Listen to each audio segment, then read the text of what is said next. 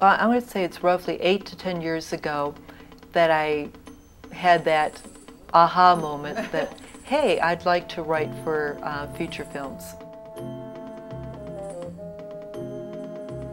These days, movies are the way that people really are affected on an emotional level and also on a political level.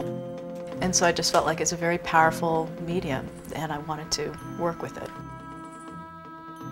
My writing started with, with emails and people liked reading my emails. Then I wanted to write a novel, so I started working on it.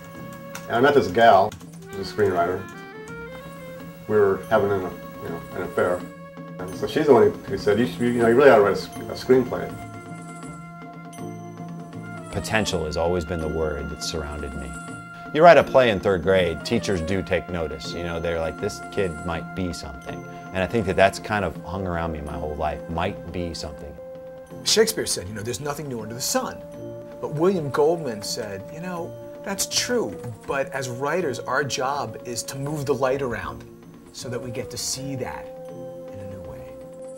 The value of a good pitch is inestimable. The, this whole business is built on pitching.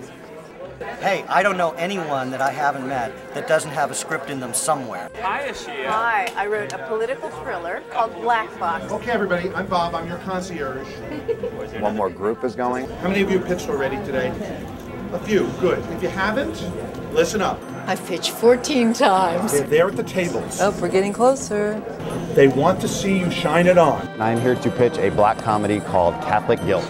Which brings us to uh, my pitch. It's a story about a small community devastated by repeated terrorist bombings. Okay, another one, Blue Ridge Ranch. It's a dramedy about ballroom dancing for horses.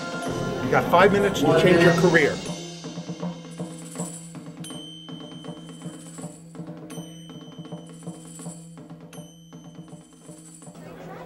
You gotta see the movie. All right, what's the last one? It's based on the Kabbalah. Kabbalah. Your time Uh, is up. Please the last one exit the rear is doors. about- Thank you. Okay, well, thanks, you guys. All right, thank you. What, what's your genre? Uh, this one's kind of, it's drama with um, some action in it.